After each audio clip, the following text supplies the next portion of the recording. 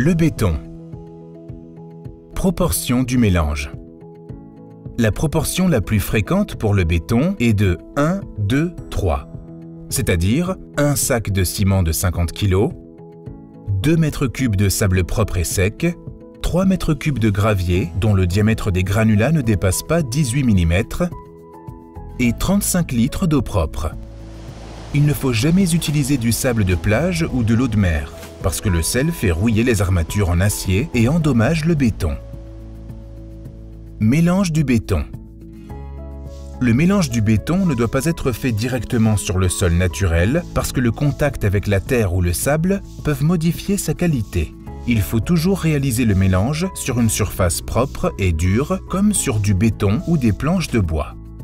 Il existe deux façons pour mélanger le béton, à la main ou avec une bétonnière. Le mélange à la main doit se faire de la manière suivante. 1. Faire un tas avec le gravier, le sable et le ciment, mais sans ajouter l'eau pour l'instant. 2. Avec une pelle, faire un nouveau tas, puis déplacer celui-ci à nouveau vers le premier tas, pelle par pelle. 3. Une fois le mélange terminé, ajouter l'eau et mélanger à nouveau. Test du béton. Pour vérifier que le mélange du béton est optimal, on peut faire le test suivant. Prendre une poignée de béton dans la main. S'il coule entre les doigts, le béton contient trop d'eau. Un mélange n'est pas bon non plus s'il est trop sec. Il faut pouvoir faire une boule avec le béton. Le béton doit absolument être utilisé dans un délai d'une heure. Sinon, il commence à durcir ou il risque de perdre de l'eau par évaporation. Coulage du béton dans le chaînage horizontal inférieur. Pour couler du béton correctement, les étapes suivantes doivent être respectées.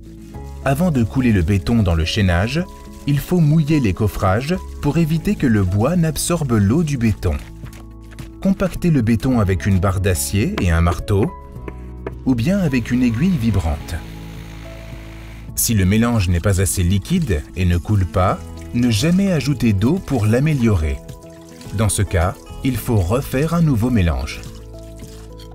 Rendre la surface supérieure du chaînage horizontal rugueuse pour permettre une meilleure adhérence avec le mur qui sera construit dessus. Coulage du béton dans les chaînages verticaux. Comme pour les chaînages horizontaux, les coffrages des chaînages verticaux doivent être mouillés ne pas couler plus d'un mètre vingt de haut par jour. Le coulage doit se faire par couches successives de 30 à 50 cm. Chacune de ces couches doit être compactée à l'aide d'une barre d'acier et un marteau, ou bien avec une aiguille vibrante.